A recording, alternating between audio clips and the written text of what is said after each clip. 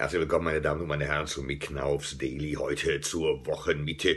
Ja, der DAX ist ja dann mal wieder unter Druck gekommen und wer ist schuld? Ja, logischerweise Donald Trump in den Vereinigten Staaten. Ja, dass ein Außenminister jetzt gehen muss. Äh, Rex Tillerson hat ja mehr oder minder auch schon fast freiwillig seinen Hut genommen und dafür Mike Pompeo, ein ehemaliger CIA-Mann, kommt. Ja, das entspannt natürlich die Situation aktuell mal überhaupt nicht in den Vereinigten Staaten. Weiß man doch gerade von Mike Pompeo, dass der eher dann doch eine härtere Gangart einschlagen könnte, ganz im Sinne von Donald Trump, vor allen Dingen, wenn es jetzt um den großen Bereich der sogenannten Strafzölle geht. Naja, und da hat man ja jetzt schon von chinesischer Seite aus auch schon gewarnt und gesagt, wenn wir mit Strafzöllen verhängt werden, werden auch wir eigene Maßnahmen ergreifen. Ja, das Thema Handelskrieg, das wabert natürlich ganz klar momentan mit durch die Handelssäle und tut natürlich der Stimmung ganz klar nicht gut. Deswegen der DAX auch mal gerade über der Marke von 12.200 Punkten und auch die Wall Street hat ja gestern wieder etwas abgebaut abgebaut, liegt ja gerade mal um die 25.000 Punkte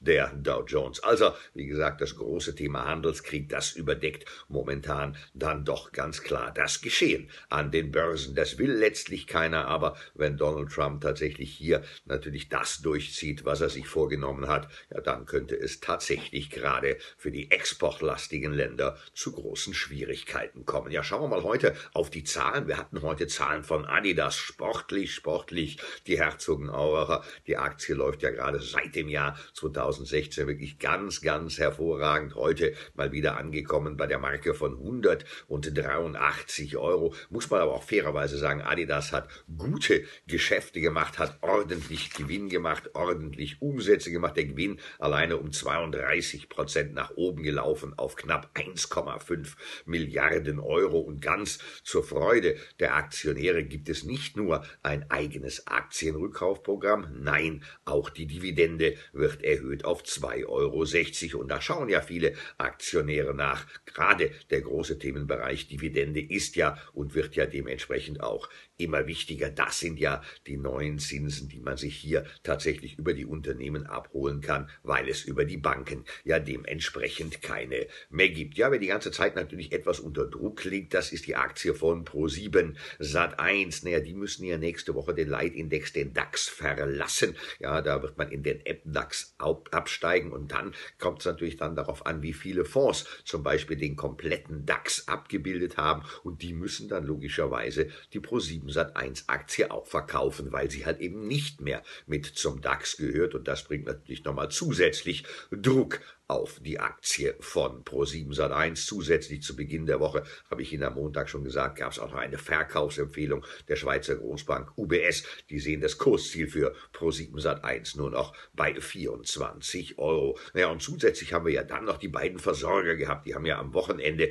mit neuen Nachrichten aufgewartet. E.ON und RWE. Ja, da steht ja in der Mitte noch Innogy. Innogy soll jetzt mehr oder minder dann verschwinden und die beiden großen RWE und E.ON werden sich dann den deutschen Strommarkt aufteilen. Ja, das hat bei Zeiten sogar für Begeisterungsstürme gesorgt. Die Aktien teilweise acht, neun Prozent im Plus. Klar, meine, man versucht natürlich auch hier so ein wenig, ein bisschen Monopolstellungen zu erreichen, damit halt eben gerade ausländische Fremdanbieter im Strom, im Energiemarkt nicht unbedingt nach Deutschland hineinkommen. Da versucht man sich natürlich auch ein wenig abzuschotten, um in Deutschland halt eben ganz klar natürlich die Marktmacht zu erhalten. Aber wie gesagt, das kam kam bei Zeiten gut an. Die RWE-Aktie auch heute mal wieder mit einer der Top-Gewinner mit knapp dreieinhalb Prozent ist man da dementsprechend nach oben gelaufen. Ja, wichtig für uns diese Woche noch der Freitag, der auf uns zukommt. Da haben wir ja nochmal dann einen Börsengang, ein IPO. Die Healthineers von Siemens kommen ja an die Börse. 4,6 Milliarden Euro soll der Börsengang ja groß sein, wäre also mit einer der größten in Deutschland. Da darf man sehr gespannt drauf sein. Und natürlich am Freitag dreifacher Verfallstag, sogenannter sogenannter Hexensabbat. Da könnte es dann doch nochmal etwas unruhig werden. Und ich werde natürlich für Sie dann am Samstag in München auf dem Börsentag sein. Wie gesagt, werde dort auch äh, mein neues Werk, mein neues Buch mitbringen, was ich Ihnen dann dementsprechend präsentiere, gegen meine auch gerne unterschreiben werde und stehe Ihnen natürlich den ganzen Tag für Ihre Fragen zur Verfügung. In diesem Sinne, vielleicht, wenn Sie Lust haben, am Samstag kommen Sie nach München auf den Börsentag. Ich würde mich sehr, sehr freuen. In diesem Sinne einen guten, einen schönen, einen erfolgreichen Handelstag an Sie.